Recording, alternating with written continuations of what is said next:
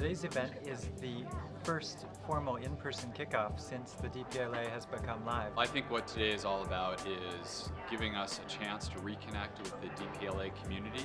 It's a very exciting moment in the history of this startup and it's got lots of positive energy and lots of things we still have to accomplish.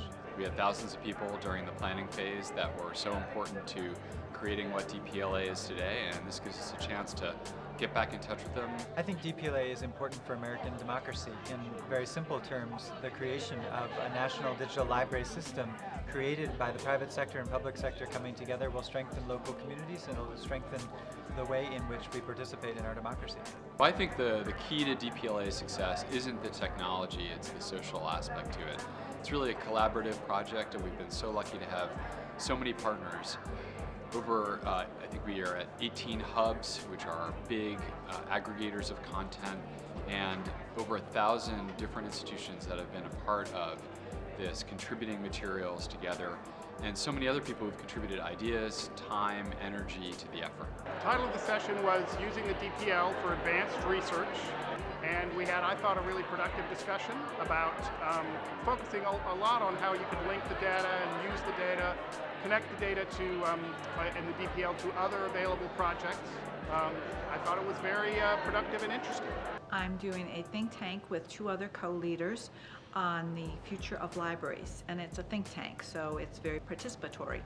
The variety and diversity of the stuff that's in the DPLA is amazing. You can use it to expand the scope of the class and the research that I'm doing. I'm used to usually using research libraries that have a very specific focus and the DPLA has a much more diverse body of materials. What we've asked the groups, we've divided them into uh, about six small groups to discuss the different issues. We gave them scenarios of possibilities for libraries in the future and they've been charged to discuss the top issues and to come away with both a summary of their discussions as well as two um, lists, two items for a list. One, uh, to be able to say what can be implemented immediately and what is a more futuristic um, implementation of a technology. I guess my specific session, the only thing I'd have to say is what was really great for me is I'm not naturally a digital humanities person. This is where I'm coming from this new, from a more traditional research perspective, and I thought it was a very welcoming and open discussion that allowed me entry in a way that I haven't seen in a lot of academic conferences, so I was really impressed.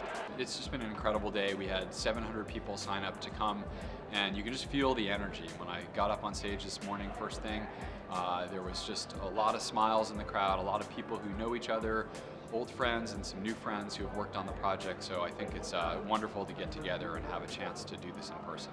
Well, I hope that people from many different walks of life, whether representing a particular community group from a particular um, uh, racial background, or someone who is representing uh, funders, or people who are representing large institutions, I hope that they will all see a place for themselves within the DPLA. This is a community-driven organization and one where we want lots of participation from smart and devoted people who want to volunteer their time and their treasure, in the case of philanthropists, uh, to make something that's truly in the public interest. If someone hasn't had a chance to say hi, happy to do so.